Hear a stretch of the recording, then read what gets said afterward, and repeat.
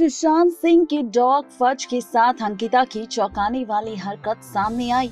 20 second की video ने किया खुलासा तो सच क्या है? बता दें कि सुशांत सिंह राजपूत का डॉग फज जो आखिरी समय तक सुशांत सिंह राजपूत के साथ था।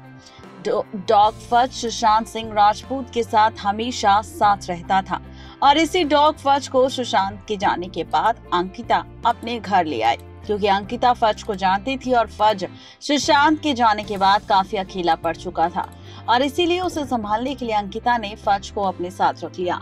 इस बीच अंकिता ने डॉग फज की एक वीडियो फैंस के साथ अपने इंस्टाग्राम अकाउंट पर शेयर की है, जहाँ पर अंकिता इस वीडियो में डॉग फज के साथ खेलती हुई नज़र आ रही है और इस वीडियो में सुशांत के डॉग फज और अंकिता को साथ देख काफ़ी खुश है सुशांत के फैंस तो इस तरीके की आखिरी निशानी अंकिता लोखंडे ने अपने पास रखी है। नेक्स्ट नाइन लाइफ से रजनी की रिपोर्ट